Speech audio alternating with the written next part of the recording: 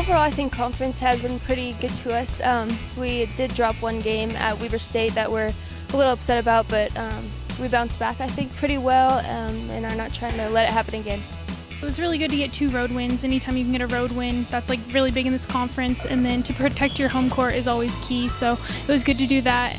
Going 4-0 in the beginning of conference um, was really fun, and our confidence was really high. But I think um, a lot of teams now have a target on our back, um, and Weber State definitely did. And um, so we're trying not to get too complacent and um, just finish the conference out hard. And so now we have this whole week to focus on North Dakota. Um, and their two kind of main players are like their post players, so we're really focusing on our post game and um, defending them.